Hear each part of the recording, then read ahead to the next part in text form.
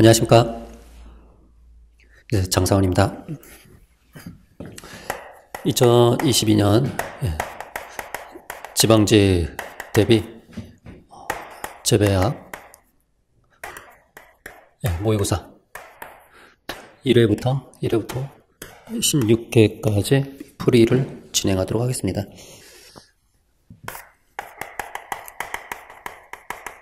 네, 저는 장사원이고요. 자, 일단은 이 모의고사 강의를 듣는다라는 것은 여러분들이 어느 정도 기분이 됐다는 얘기죠.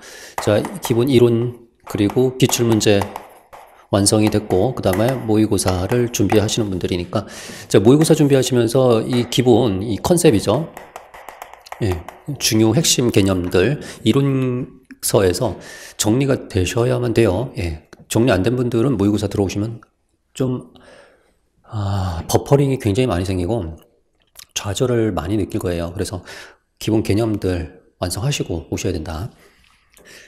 자, 그리고 지난주에 국가직 기출 문제, 어, 문제가 확인이, 확인해 보니까 문제들이 여러분들이 좀 제대로 하신 분들은 점수가 나와요. 근데 건성 건성하거나 아니면 쉽게 공부하려고 했던 분들 아니면 기출문제 중심으로 공부하셨던 분들은 점수가 뭐 여러분이 원하는 만큼 안 나왔을 거예요. 그래서 제가 기출문제에서도 늘 말씀드렸다시피 기출문제는 많이 나와야 한 80점이에요. 많이 나와야지.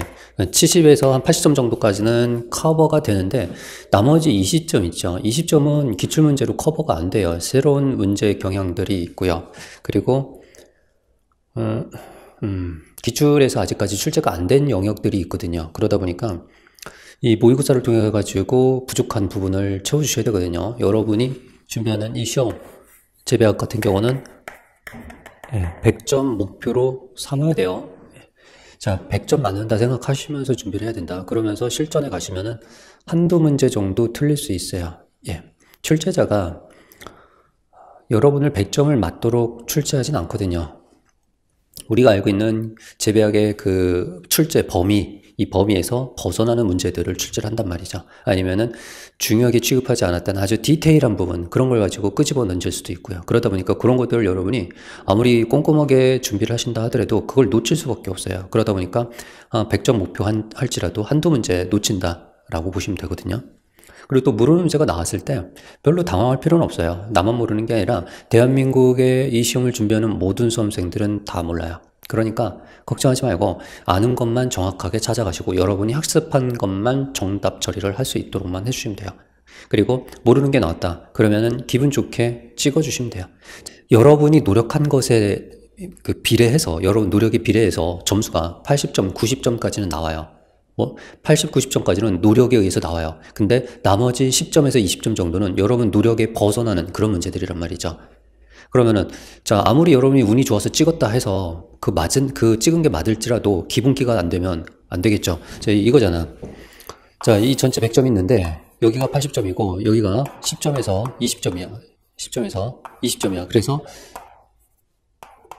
자, 이거는 여러분의 노력에 의해서, 노력에 의해서 이것을 결정하고, 나머지 이것은 여러분의 운에 달려 있단 말이야. 그러니까 여기 어, 노력은 기본에다가 플러스, 플러스 예, 운까지 작용이 돼야지 여러분이 합격을 해요. 그러다 보니까 이거는 기분이야. 노력조차도 않으면서 내가 뭐 운에 맡기겠다라고 하시는 분들은 시험을 처음부터 준비하지 마세요. 그냥 다른 거 하시는 게 좋겠죠. 예. 자, 기본 노력에다가 자, 나머지는 여러분 운에 달려 있다라는 거. 그러면 이 운은 어떻게 만들어야 돼? 누가 만들어 줘? 제가 만들어 주는 것도 아니고 여러분 스스로 만들어야 돼요. 예, 여러분이 합격할 것이라는 것. 여러분이 이 합격에 대한 확고한 믿음이 있어야 돼요.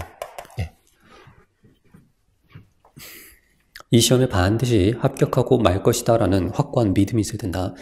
네, 자기 자신을 믿음이 높은 사람들이 있어요. 믿, 자기 자신에 대한 믿음이 높은 사람들이 있어요. 그런 사람들은 기본적으로 실적, 결과물이 긍정적으로 나오게 돼요. 네, 그렇지 못한 네, 평범한 사람들은 자기에 대한 믿음이 사실 그렇게 높지가 않거든요. 그럴 때일수록 그러면은 어, 의식적으로, 무의식적으로, 그 의식적으로야. 무의식적으로 믿기는 쉽지가 않거든요. 의식적으로 자꾸 말로 끄집어내셔야 돼요. 나 합격할 수 있어. 라고 나 자신을 스스로 세뇌를 시켜야 돼요. 그것도 안 되면요. 장사원인 저를 믿으셔야 돼요.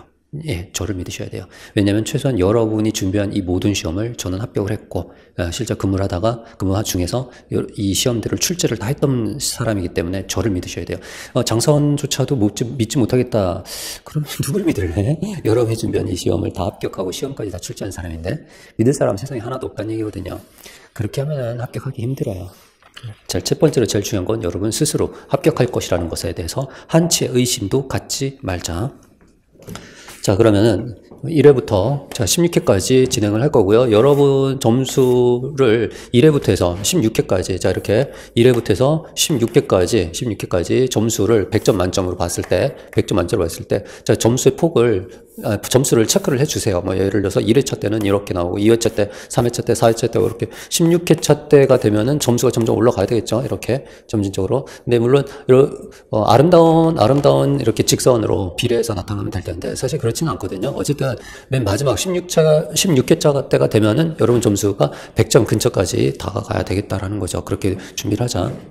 그러려면 단순하게 테스트 이 시험에 테스트만 준비를 하고 그 이 시험을 준비 하지 않고 그냥 테스트만 보겠다 하면은 점수가 안 나와요. 분명히 여러분이 이론서라든가 기출문제라든가 여러분이 그 기존에 공부하던 방식으로 준비를 한 다음에 그다음 이 모의고사에 임할 때 신중하게 실전처럼 응하셔야지 여러분 점수가 올라가요. 그렇지 않으면은 어, 계속 처음 점수나 끝에 점수나 비슷하게 끝날 거다라는 거죠. 아, 자, 그리고 또, 어, 기쁜 소식은 있죠. 일단, 여러분 경쟁률을 보니까, 자, 희소식하고 그렇지 않은 소식이 있는데, 일단 올해, 올해 2022년 희소식은 경쟁률이 굉장히 낮다라는 거죠. 예년에 비해서 경쟁률이 굉장히 나, 낮아요.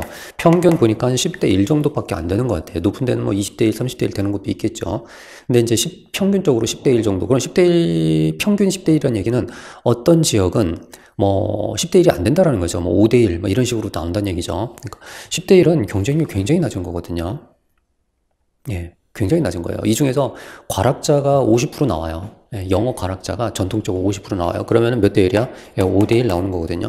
자, 그럼 5명 중에서 여러분이, 어, 그, 5대 1이라는 게 결국은 5명 중에 한명 당선, 그 당선이 아니라 합격하는 시험이기 때문에, 음, 실제 다섯 명은 아니죠. 예를 들어서 다섯 명 선발한다 하면은 다섯 명을 선발한다라고 하면은 5, 25, 예, 25명 중에서 5등 안에 들어가야 되는 시험이 되는 거죠. 자, 어쨌든 경쟁률이 예전보다 훨씬 낮아졌다는 건 아주 반가운 소식이고요. 자, 또 다른 나쁜 소식 같은 경우는 올해 같은 경우는 현재 문재인 정부에서 마지막 정부이기 때문에 마지막 그 시험이기 때문에 공무원을 또그 국가정부, 중앙정부에서 많이 선발하는 게 아니라요. 각 지자체에서, 지자체에서 이번 정권 말기 때는 항상 그래요. 정권 말기 때가 되면은 특히 이번 정권에서는 공무원을 늘리자는 쪽이었잖아. 공공 일자리를 창출하는 목적이었기 때문에 특히 마지막 연차에서는 공무원을 최대치로 늘려줘요. 왜냐면 다음 정권이 들어오게 되면은 그 정권에서는 어떻게 인력을 확충할지 모르기 때문에 일단 최대로 확충을 해놔요. 그리고 실제로 작은 정부 쪽을 지향하는 윤 정부가 들어왔죠. 예. 그렇게 되면은 확실하게 내년부터는 인원 감축이 들어갈 거거든요. 그러니까 가능하면 올해 여러분들이 많이 합격하시는 게 좋겠다. 예.